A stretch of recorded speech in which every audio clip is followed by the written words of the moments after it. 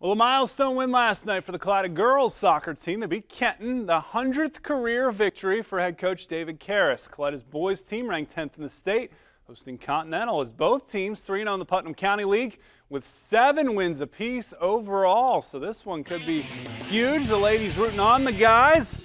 Student section pumped up. Corner kick for Kalida's Devin Kortokrax, sharpshooter on the basketball court, sends it into the box, but headed out by the Continental defender. How about Zach Schwartzman? Battle for the ball here for the Pirates. The senior gets out on a break, but Brandon Bearhoff claws him. Hey, it's football on Friday nights, right? That sets up a kick for Schwartzman. May the Schwartz be with you.